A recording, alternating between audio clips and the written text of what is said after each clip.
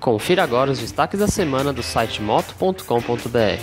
Na descrição do vídeo você encontra os links para as matérias completas. Com poucas mudanças, Yamaha R3 vai para a pista. Nova Suzuki GSX R1000 chega com preço a partir de 68 mil reais. Dafra Next 300 chega às lojas na segunda quinzena de maio.